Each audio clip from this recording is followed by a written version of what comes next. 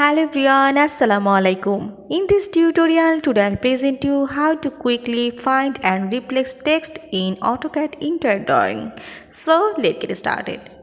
I open this AutoCAD drawing and these are the text and I want to replace this text. So first I have to find this. So give the command in find F-I-N-D find then press enter. This is find and replace dialog box.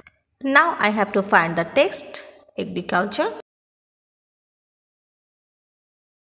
Then this is find her in entire drawing. Find. I find this text and it will be color in bold and turned in blue color.